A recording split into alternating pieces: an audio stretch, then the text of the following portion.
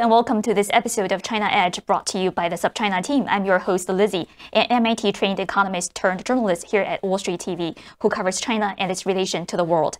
Here at China Edge, we go beyond the headlines and guide you, our audience, through the jungle of Chinese regulations. We go deep into industry trends and identify challenges and opportunities in the Chinese market. Join our conversation every week for interviews and analysis with the most knowledgeable minds on China. Also, stay tuned for special panel sessions in the future with Kaiser Kuo, host of the Sinica podcast, and Jeremy Goldkorn, editor in chief of SupChina. What policy and personnel changes should we expect in the month ahead of the 20th Party Congress in a year?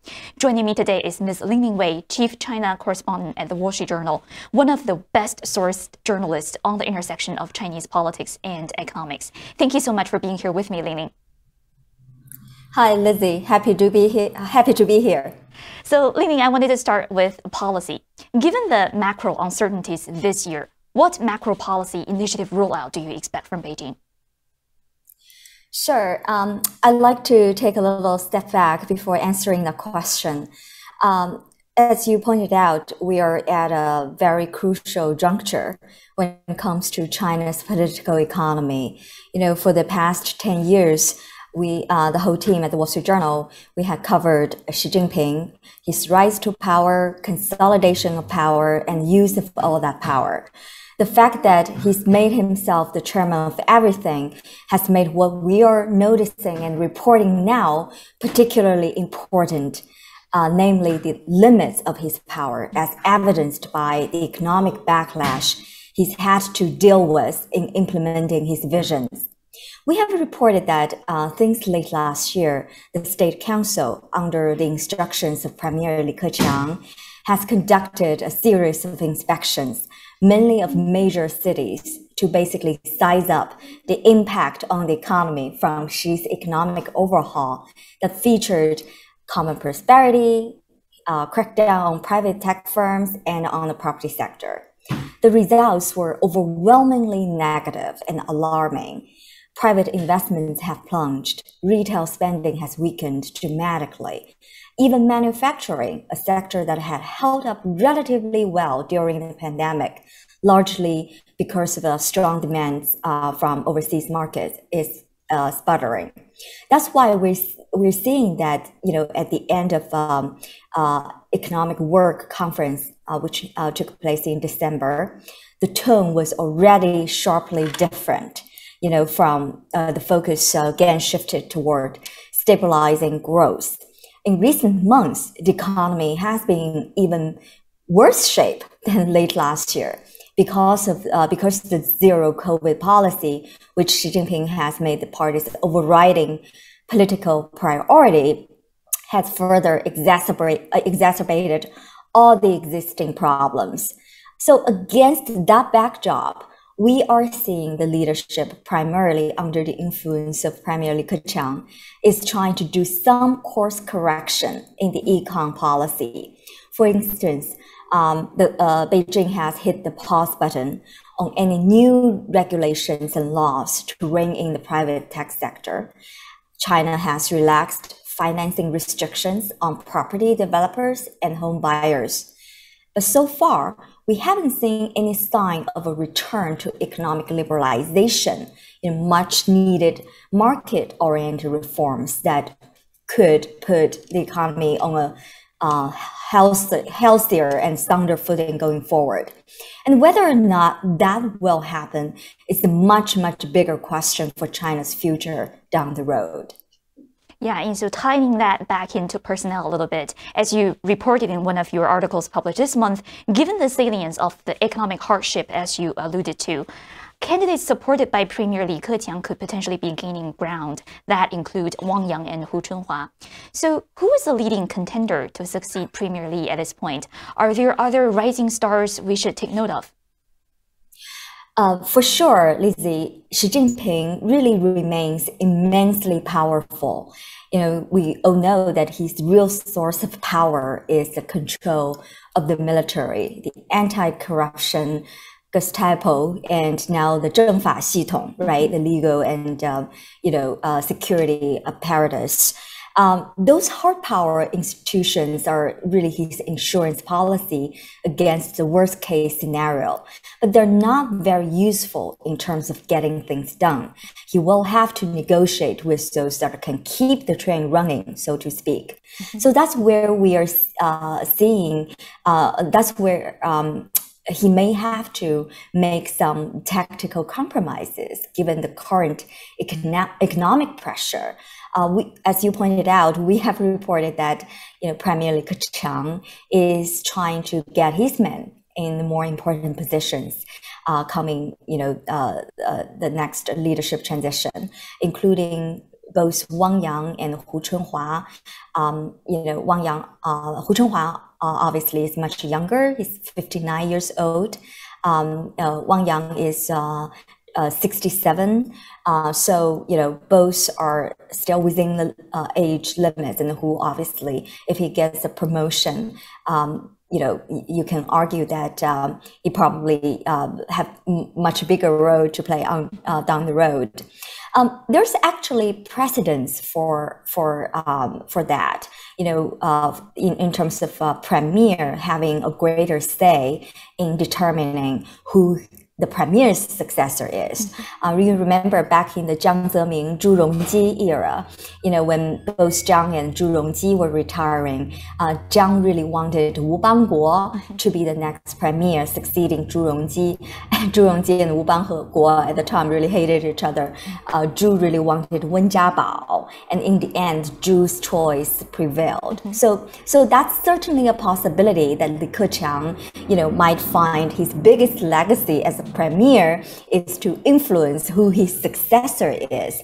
Uh, that said, uh, we still have uh, quite a few months to go before the party congress. So all the jockeying and power struggle are still going on. Um, you know, um, as we all know, that even Mao Zedong and Deng Xiaoping had to deal with rivals and setbacks. They both prevailed in the end. You know, the same could happen with Xi Jinping. So let's see and keep an open mind. Hi, this is Lizzi, host of the China Edge Show. We have prepared both English and Chinese subtitles for the show. You can turn on subtitles by clicking the CC icon at the bottom of your YouTube video. Click on the gear icon and select from one of the three languages, English, Chinese Simplified, and Chinese Traditional. 大家好，这里是李琦，在 China Edge CC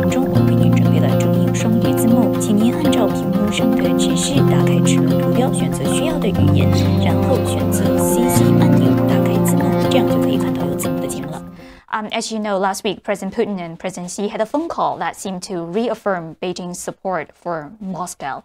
But to what extent is that support material or substantial? Um, based on your intel, is there any evidence that Beijing is actively helping Russia evade Western sanctions? Uh, so far, there has been that China is providing substantial military and economic support to Russia. You know, obviously the US side has laid out clearly what kind of consequences China and its relations with the US would suffer, you know, were it to actively help Russia. Uh, in that sense, the so-called unlimited partnership between Beijing and Moscow is really showing its limits in real time. Um, you know, China's economic interests are just so intertwined with the West, you know, U.S. and Europe, uh, for China to risk secondary sanctions that might result from uh, it providing substantial help to Russia.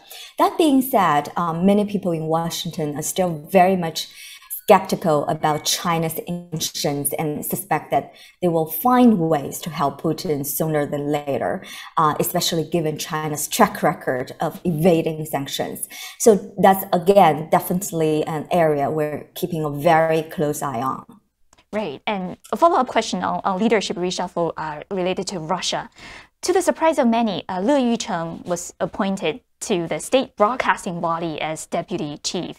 And as you know, previously he had been widely tipped to take over Wang Yi's reins as the next foreign minister. Um, is there anything to the rumor that Le Yucheng was effectively demoted because he misled top leaders on Russia's invasion of Ukraine? That's quite an intriguing story, isn't it? Um, I'm afraid that I, I don't have a very good answer here. Um, you know, based on what I have heard and what I have read so far, I don't think it had much to do with the statement Le Yucheng made about the unlimited China-Russia cooperation. You know, if you do a quick search, Foreign Minister Wang Yi had said that before, even before Le Yucheng said it. Um, so I hear that uh, the trouble for Le Yucheng might not be over yet. Uh, you know how it goes, right? Uh, if the party handle, uh, that's how basically the party handles people who are under ser- some serious investigations. They remove you from the existing posts first, and then continue the investigation, which can last for months, if not years. Um, so let's let's wait and see, you know, what what happens in the end. Um, it's certainly a very interesting twist. And now the question is with Le Gang, Obert Gang, you know, who would uh, succeed Wang Yi as the next prime, uh, um, foreign minister. Um, you know, we have heard a couple names, uh, for example, Liu Jieyi, mm-hmm. expert on Taiwan, you know, uh, but it's still too early to say for sure, but definitely interesting um, to keep an eye out as well. Right. Now back to US China relations, which is by far the most important bilateral relations uh, from Beijing's point of view. As you know, Secretary of State Blinken made his uh, China policy speech a, a, few weeks ago. He laid out a three part approach to China. The United States would invest in its strength, align with allies, and compete over core interests with China. On the flip side, how would you characterize Beijing's approach to US China relations for the next decade to come? Um, so uh, there is very little doubt that China sees the U.S. as the biggest threat mm-hmm. to China's interests right now. Um, you know that's basically why it has shifted uh, long-standing um, foreign policy focus, right, uh, from building ties with Washington toward aligning with Moscow.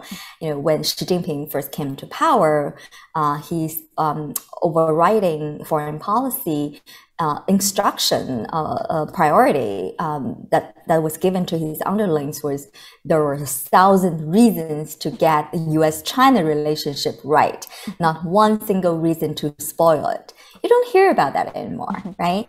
These days, uh, the uh, anti-America propaganda within China is basically nonstop. And uh, on the other hand, you know, state media definitely has consistently played up the China-Russia uh, alignment friendship. Um, and you know, based on my conversations with contacts in China these days, is that uh, there is this prevailing view that the U.S. will shift its attention to further contain China as Russia gets increasingly weakened by Western sanctions. So for that reason, namely the need to counter the US, China is aligning with Russia politically and probably will continue to do so for the foreseeable future. But we should also keep in mind that within China, even within the party, there has been a fair amount of discomfort with Beijing getting so close to Moscow.